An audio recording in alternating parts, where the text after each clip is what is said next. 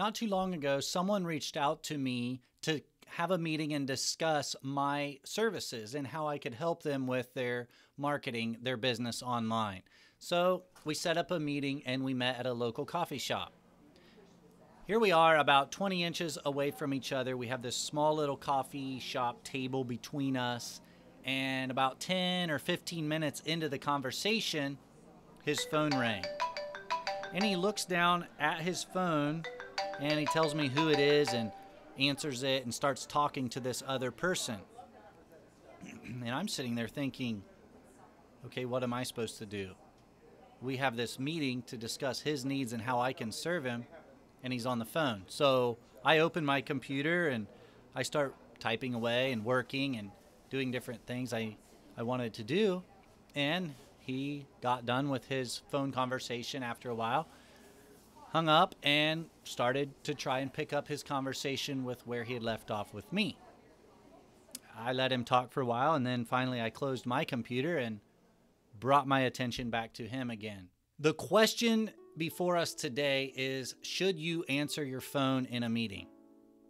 I am going to give you three reasons that you absolutely should not answer your phone in a meeting. And the first reason is out of respect. You are called to respect people, to respect others. And when you have a meeting with someone, you are there to talk to them one on one and have a meeting with them, right? And you're you're discussing things. Perhaps it's private information, maybe it's not. It doesn't really matter. But suppose someone came up to your table or if you're standing there, someone came up and you turned your back on the person who was just talking with you and started talking with this new person with your back to the other person, how would that make them feel? That would make them feel very disrespected, right? Your phone is that third person. And when you answer it, you're a, you're turning your back on the meeting and talking to a new individual who was not invited to the conversation. And that's disrespectful. So the the reason that you should leave your phone in the car is out of respect. The second reason is professional. You're a professional, and this other person is a professional, and you're having a professional meeting. It's unprofessional to answer your phone in a meeting. Now, it doesn't matter if you're the best friends. You can be best friends that go clear back to childhood. It's still unprofessional to be having a meeting with someone else and then answer your phone. Now, the third reason is trust in the mind and heart of the person you're meeting with. You are in this meeting for the purpose of building trust. Meetings are more about trust than they are about content. It's not just getting through your content, it's that unspoken sense that happens between two people that helps that person determine whether they can trust you or not. If you are my prospect and I'm meeting with you and you answer your phone and interrupt our conversation, my trust in you goes down, and I wonder what you're going to be like as a client of mine.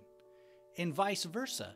If you are meeting with me, determining whether you can trust me to handle my marketing services for you, and I interrupt our conversation with a cell phone call, your trust of me will go down. So if you struggle with answering the phone when you're in a meeting, my counsel for you today is get off the phone.